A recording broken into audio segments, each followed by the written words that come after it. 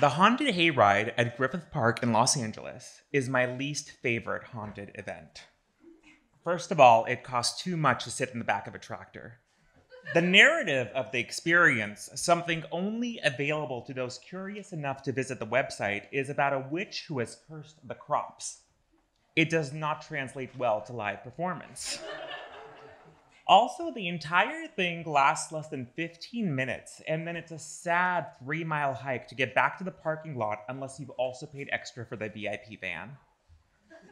But you'd never know I didn't like it because I own five t shirts from the one time I went. I love merchandise. As any of my friends can attest, the best and least annoying part of attending any event with me is my trip to the merch booth, where I will purchase one, two, sometimes seven t shirts.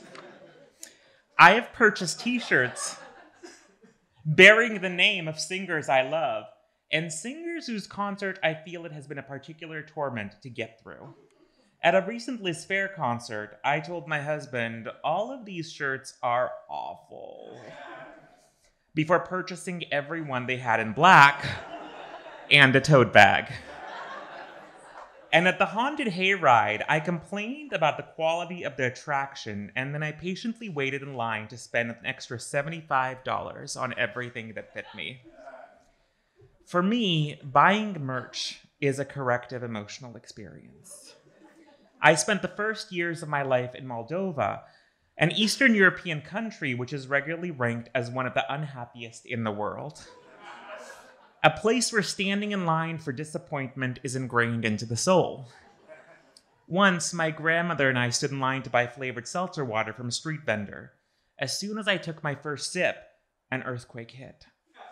My instinct was to run, but my grandmother squeezed my arm and his drink. We waited. We have to return the glass. Imagine surviving an earthquake and not even being able to cake a souvenir. In 1990, we stood in line for shoes, we stood in line for makeup, and sometimes when we got to the front of the line, there would only be more disappointment. A denim vest instead of children's shoes. If we had the rubles, we bought it anyway. We didn't care about colors or sizes or tailor's versions.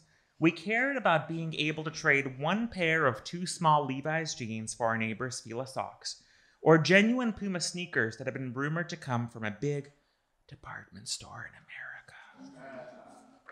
When we left Moldova, we had to give away everything clothes, furniture, toys, anything we could not pack had to be dispatched.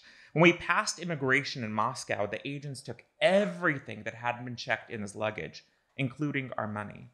When we arrived, we had nothing. A few weeks after we'd settled in, my aunt from New York came to visit. She brought my brother and me shiny plastic jackets. They had buckles on the shoulders and silver zippers on the arms, and in the right conditions, my dad swore they looked as if they had been hewn from genuine imitation leather. My parents sent us to school in these coveted status symbols, and I learned several valuable lessons. The first was that they were meant to resemble the one that Michael Jackson wore in the bad music video. The second was that bondage gear doesn't make you any friends in elementary school especially if it's four years out of date and only the teachers recognize it. The third was that in America, you could not only watch a music video, but purchase counterfeit relics from its legacy. And on Pier 39, you can even buy t shirts declaring you survived the big one, whether or not your grandma made you drink an entire seltzer as the ground shook beneath you. My love for merch is why my two bedroom apartment is filled with posters that now live on the floor but will one day be framed and hung up. It's why every corner of a room boasts something I purchased at an event because I love owning a memory that I can hold. For a few months, I have been wearing three VIP wristbands from the Trixie Motel, where I spend two days in the peak month of November. I was only supposed to have one bracelet but I asked for another each time an employee wondered what they could do to make my stay better, while being unable to reduce the price of the tepid poolside nachos. If you know, you know. I never took the bracelets off. Sometimes people assume these bracelets have a deeper meaning, that I wear them to bring awareness for a disease.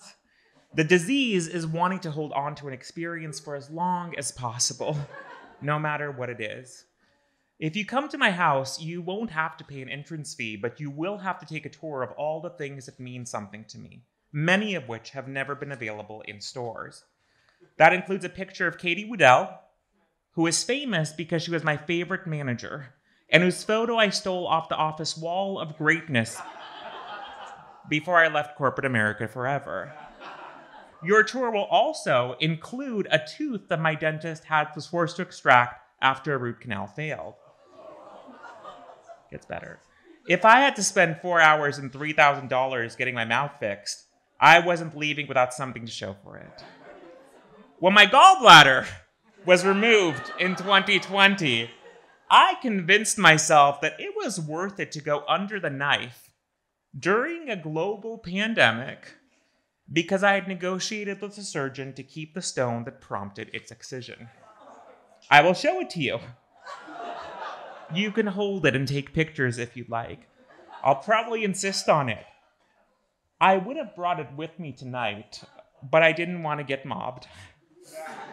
As I was changing into my hospital gown for surgery, I snuck several pairs of grippy socks, the number of which you do not need to know, from the equipment cabinet I was left alone with. Then I handed them out as parting gifts for visiting friends, a piece of merchandise from an important event in my life a reminder that I had not only survived, but triumphed. If I knew how, I would have embroidered Mark lived, bitch, on them for posterity. I will show you my signed photo of Arsenio Hall. This is not a man that I am a fan of. When I saw the photo in a vintage shop in Las Vegas, I thought, I should call my friend Erica. Then, oh no, she died six months ago. Then, well, that's $35 I don't have to spend. And then I went back and I bought it. Because that's what friends do. They buy merch for the friends who can no longer buy merch for themselves. Last year, Heklina, a drag icon and San Francisco legend, died. When I went to her memorial, I marveled not only at the sense of community she inspired, or the fact that a single person thought it was okay to sing two songs at an already four hour long service, but also at the sheer number of items I could buy or pre order to remember her. I will die on the hill that there should be more merch at funerals. And you should be able to get a t shirt of me dying on that hill at my funeral. And you should be able to pay with a credit card not to keep harping on death, but some of the last words my grandma ever said to me was, Mark, I am dying. the dying part wasn't a surprise. She had been slowly declining for weeks. But this moment of lucidity was unexpected. And because I am both trained in psychology and love my grandma very much, I decided not to tell her she was being silly or that she was going to get better.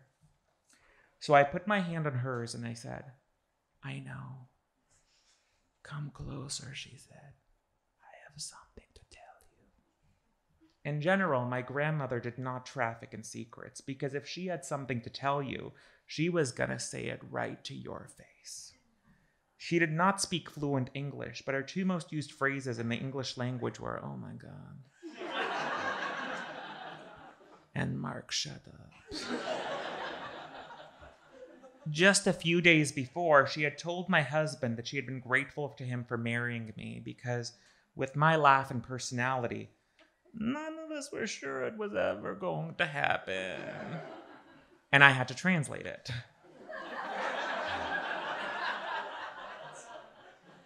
For her to want to say something just to me, that was huge. Could this be the moment my grandmother would impart the wisdom of the universe to me? She clutched my hand in one of hers. In the other, she held a stuffed cow in a lab coat that I had purchased from the hospital gift shop for $24.99. The lab coat specified that the cow worked at UCSF, and that made it special. She held out the cow to me and slowly said, Mark, you are fat. like this cow. It is time for you to lose some weight. Then she closed her eyes and fell into a coma. She never spoke again. The next day, I found myself asking my aunt if it'd be okay for me to have my grandmother's wedding ring to wear. That's a great idea, my aunt said. She'd already taken all the other jewelry. Do you want to take it now? Maybe knowing someone will have it will make it easier for her to go. My grandma died two hours later. I walked out the hospital with only the story of her final hilarious insult and the ring, which I could bring home and wear and make meaning of. With those two things, her death ceased being just a sad thing that happened to so many grandmas. It had become an experience, an event, complete with commemorative merchandise.